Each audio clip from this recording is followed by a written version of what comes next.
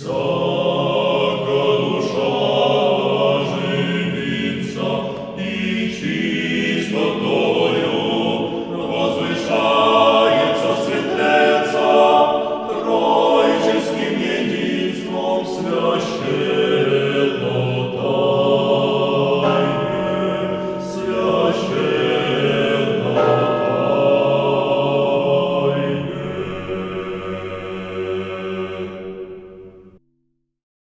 Христос воскресе! Здравствуйте, дорогие братья и сестры!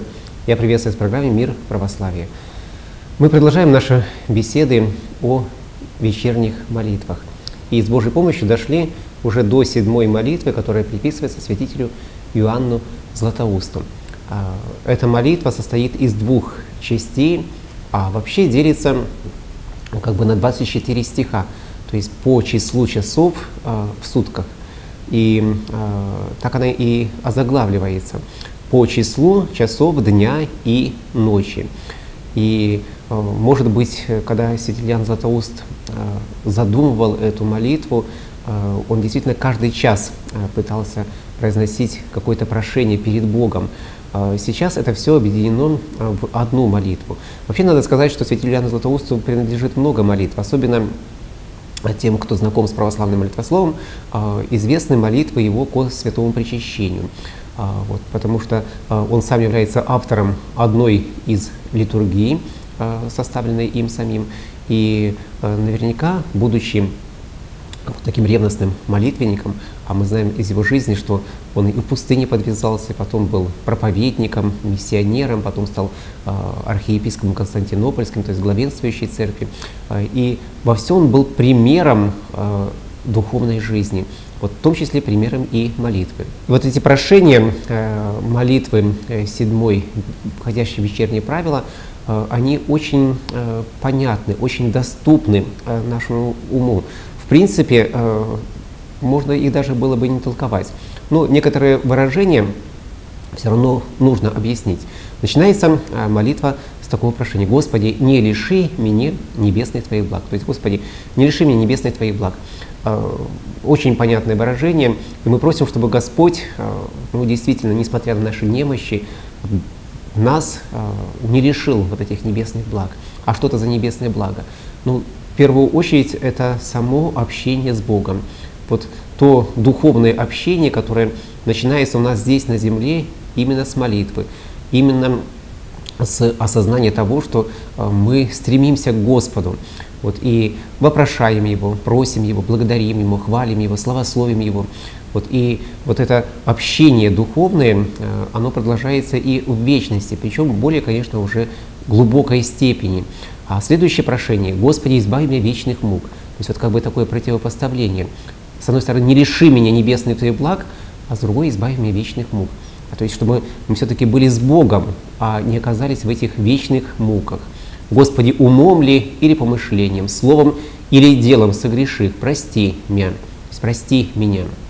Опять же, вот это перечисление а, всех наших греховных состояний, и помыслов, и чувств наших, и слов наших, и, конечно, наших поступков, дел. Господи, избави меня всякого неведения и забвения, и малодушия, и окамененного нечувствия. А, прошения все эти понятны, э, неведение и забвение, то есть вот э, того, что мы делаем по э, незнанию какому-то, да, или по нашей забывчивости, по невнимательности нашей жизни. Малодушие, ну, это страх такой, да, то есть когда у нас есть возможность совершить что-то что доброе, а мы не решаемся, вот мы проявляем какое-то малодушие в этом отношении, а, вот такой страх. И порой действительно нужна, нужна решимость. Вот не на словах только, а на самом деле на, на поступках. Вот Петр э, смолодушничествовал и начал тонуть, когда он шел по воде, хотя до этого он как бы бесстрашно вышел. Да. Он обещал Господу, что будет э, с ним даже в час его смерти и сам готов умереть. А когда его стали спрашивать, он является ли он учеником Христа, он по своему малодушию стал отрекаться. Вместо твердой э, вот, убежденности о том, что он пострадает вместе со своим учителем, он стал отрекаться своего учителя. То есть вот это такой страх, который нас движет в противоположную сторону от добродетелей. И окамененного нечувствия. то есть от сердечного окаменения. Я думаю, что каждому верующему человеку знакомо это вот такое состояние, когда сердце как будто становится каменным, непробиваемым. Вот вроде бы и такие умилительные службы, э, вроде бы вот и понимаешь, что ты грешен перед Богом, а нет ни, ни капельки слезинки о своем покаянии, о своем, э, своем э, недостоинстве перед Богом, какая-то вот такая сухость, э, каменность нашего сердца. И вот э, в одной из молитв, э, которая читается священником перед святым причащением, э, говорится о том, чтобы Господь вместо каменного сердца дал мне плотяное сердце, то есть сердце живое, сердце, которое бы откликалось на чужую боль, сострадало, было милостивым, милосердным, которое бы плакало о своих грехах и несовершенствах. Вот именно такого сердца мы должны искать и просить его у Бога. Вот именно вот это прошение, а, оно и а, призывает нас, если у нас мы чувствуем, что наша душа стала мертвой, а сердце наше стало окаменелым, чтобы мы просили у Господа, Господи, избавь меня от этого окаменелого бесчувствия. Следующее прошение, Господи, избавь меня от всякого искушения. Э, очень созвучно оно с э, окончанием молитвы э, Господней, Отче наш. «И не введи нас во искушение, избавь меня от всякого искушения». То есть мы просим, чтобы Господь, если дает нам искушение, давал нам их по силам. Но, в принципе, это и так понятно. Господь ведь не какой-то тиран, который э, вот смотрит на нас и желает нас навалить какими-то трудами, искушениями, чтобы мы, выдержим ли мы их или не выдержим. Конечно, Господь знает наши силы. И если и испытывает нас в чем-то, то э, именно дает нам по силам то испытание, которое, которое нам э, предлагается в нашей, в нашей духовной жизни. Но э, что нужно понимать, что чаще всего это не сам Господь нас и испытывает или искушает, потому что э, в Священном Писании прямо сказано, что Господь не искушает никогда и никого, а мы сами искушаемся, будучи движими своими страстями, своими привычками. Да, то есть, если человек э, не воздержанный, э, его даже в самую мирную компанию какую-то приведи, э, он все равно будет много разговаривать или проявлять какие-то эмоции, если он не будет следить за собой, если он не научится контролировать вот эти свои эмоции. То есть не, не Бог нас искушает, мы сами искушаемся. И вот это нужно четко понимать и следить. И если Господь дает нам какому-то человеку какое-то испытание, то, как апостол Павел говорит, а, Он дает и силы перенести это испытание. Вот а, как Иову, да, который был испытываем, и семью потерял, а, да, и весь, весь свой скот потерял, и все свое имущество потерял, и здоровье потерял. И жена говорила ему, что ну скажи какое-нибудь слово на Бога, пусть лучше Господь тебя накажет и убьет уже. Зачем так мучиться? А, а он говорил, что э, Господь дал, Господь и взял. Как Богу угодно, пусть так и будет. И разве я могу что-то сказать на Бога, который дает мне вот это испытание? То есть он во всем остался верен Господу своей праведности, он всецело доверял Господу. А следующее прошение э, говорит нам э, о, о следующем. «Господи, прости, просвети мое сердце, еже помрачи лукавое похотение». «Просвети мое сердце, еже помрачи лукавое похотение». То есть мы просим просвещения от Господа нашего сердца, которое бывает помрачено вот такими злыми желаниями. Да, э, это касается не только каких-то плотских желаний, но, э, в принципе, и душевных наших желаний. Вот то же самое зависть, а, да, какая-то, которая не видна никому, кроме Бога, который сердцеведец. Да. Но ведь сердце, помраченное завистью, оно очень нуждается в божественном просвещении, потому что оно темное, оно постоянно находится вот в таком в таком каком-то безобразном состоянии, которое мешает войти туда свету Божию. Вот, и, э, конечно, мы просим, чтобы Господь вот помог нам преодолеть вот эти наши злые страсти, которые в наших, в наших сердцах есть, живут и порой делают невыносимой нашу жизнь. Господи, аз яко человек согреших, Ты же яко Бог щедр, помилуй меня, видя немощь души моей я. То есть я как человек согрешил, Ты же как Бог э, милостивый и щедрый, помилуй меня, видя и зная немощь моей души. А, конечно, Господь это знает. Вот. Но опять же, э, мы должны понимать, что когда мы просим у Бога вот этого помилования, его щедрости, Его милости в нашей жизни. Мы и сами должны проявлять усердие в том, чтобы избавляться от всего злого. То есть не просто просить «Господи, помилуй», а при этом сами будем продолжать свою э, жизнь неправедную, а наоборот, да, мы должны делать усилия, даже, даже если по нашей немощи не все у нас получается, просить, чтобы Господь укрепил нас, помиловал, по своей щедрости дал нам силы снова продолжать этот путь, этот подвиг – это постоянное движение к Богу и к святости. Господи, посли благодать Твою в помощь мне, да прославлю имя Твое святое. То есть, э, опять же, вот просьба послать божественную благодать нам, чтобы с Божьей помощью мы в своей жизни прославляли имя Божие.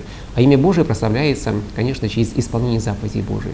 Потому что э, важно не то, как ты называешься, христианин, там, воцерковленный христианин. Важно, как ты поступаешь в жизни. Э, ведь не секрет для многих, что э, мы десятками лет ходим в храм, а порой ведем себя хуже, чем те люди, которые вообще не ходят в храм, или вообще не крещенные люди. Поэтому важно вот именно наша жизнь, наше исполнение заповедей Божьих, а не то, сколько мы лет проходили в храме, или сколько мы раз причащаемся.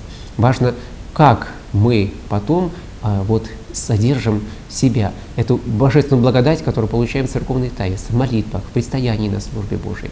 Вот, вот именно это важно. И по этим поступкам, по нашей жизни э, оценивают, в принципе, и, и, и все христианство, и всех верующих людей. Поэтому, э, конечно, если мы уже называемся христианами, верующими людьми, то э, должны стараться, по крайней мере, а, ну, во всем соответствовать тому, что, чему Господь нас учит, чему Он нас призывает. Господи, Иисусе Христе, напиши мя раба Твоего в книге «Животни и дар ми конец благие». То есть мы просим, чтобы Господь написал нас в книге жизни и дару, да, даровал нам благую кончину нашей жизни.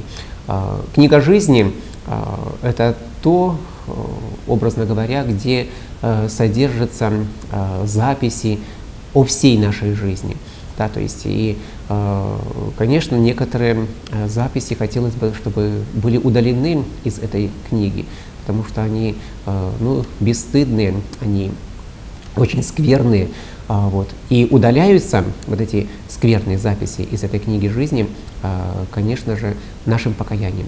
А покаяние – это изменение нашей жизни. Вот мы меняем свою жизнь, мы приобретаем какие-то добродетели с Божьей помощью. И то постыдное, что мы творили, Господь вычеркивает из книги, из книги жизни. Но очень важно, чтобы мы сами не были вычеркнуты из книги жизни.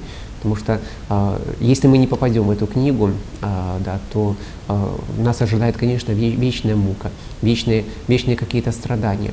Э, вот важно попасть в эту книгу, которую Господь записывает тех, кто жив. Жив именно вот этой духовной жизнью, той благодатью, которую Господь дает каждому человеку. И вот эта жизнь, она должна быть постоянной. Нельзя сказать, что мы вот что-то сделали, и все, Господь нас записал в книгу жизни, и теперь мы можем сидеть спокойно, сложить руки и ничего больше не делать. Нет, духовная жизнь – это постоянное движение к Богу. Э, не зря вот в Евангелии сказано, что будьте совершенны, как совершенный Отец ваш Небесный. Разве можно достичь совершенства э, Бога? А, абсолютного совершенства. Ну, конечно, нет, это постоянное движение, это постоянное приобретение чего-то нового и нового. Вот, и поэтому, а, конечно, чем больше человек а, убегает от своих грехов, борется с ними, тем больше вероятность, что мы будем записаны в эту книгу жизни. И дар нам конец благий нашей жизни. Благой конец нашей жизни, то есть добрый, доброе окончание нашей жизни, это то, что для христиан подразумевает вот святое причащение, покаяние перед, перед смертью, да, и, и вообще э, вот мирное устроение э, жизни христианина, вот мирное состояние души, потому что когда ты в мире, то и сама смерть не, не такая страшная. Вот на прошениях, э, на литургии и на других э, богослужениях мы просим, чтобы Господь даровал нам кончину безболезненную, мирную, божественных тайн причастную. То есть а, а все это достигается только тогда, а, когда человек в мире с самим собой, своей душой, в мире с ближними и в мире с Богом. Вот стремиться к этому душевному миру. Тогда и кончина будет нам не страшна. Господи Боже мой, аще и ничтоже благо сотвори при Тобою, но дашь мне по благодати Твоей положите начало благое. То есть, Господи, если я даже и ничего доброго не имею, но именно сейчас, вот с этого момента, с этой молитвы, с этого прошения, помоги, мне положить твердое начало моему исправлению, то есть чему-то доброму. Научи меня это делать. Господи, окропи в сердце моем росу благодати Твоей я. Дай мне Твою благодать, вот как росинку. Вот роса очень важна, э, в, э, когда э, она нужна для э, земледелания и для развития. Вот, и также вот эта крупиночка, маленькая росинка Божественной благодати, она очень важна для нашей жизни. Без Бога мы не можем ничего. А с божественной благодатью, наоборот, мы можем все. Как апостол Павел говорил, что все я могу в укрепляющем меня благодати Господа моего Иисуса Христа. То есть вот эта росинка благодати Божией помогает нам быть всегда живыми, двигаться постоянно вперед. Господи, небесе и земле, помяни меня грешного раба Твоего, студного и нечистого в Царстве Твоем. Аминь. Очень перекликается это прошение с кратким прошением разбойника, который был распят по правую сторону от Христа. «Помяни меня, Господи, в Царстве Твоем». Да, и здесь мы немножко расширено. То есть хоть я и недостойный, и нечистый, и по своим поступкам порой бесстыдный, но Ты помяни меня, Господи, в Царстве Твоем. Вот. А если бы мы еще к этому э, приобрели вот то э, покаяние, которое было у разбойника, то э, изменение его жизни, тот пересмотр его жизни, который произошел моментально в его душе, когда он ну, буквально перед смертью увидел всю низость своих поступков, всю, всю бесполезность своей жизни, и вот этот вопль «Помяни меня, Господи, в Царстве Твоем!» И ответ Христа «Ныне же будешь со мною в раю». Да? И мы, может быть, тоже в своем сердце услышим это, если не будем не просто произносить эти слова по привычке, а вот вдумываться, что, что они действительно соответствуют Евангелию. И ведь святитель Иоанн Златоуст, который написал множество замечательных толкований на многие книги Священного Писания, он берет эти образы именно из Священного Писания.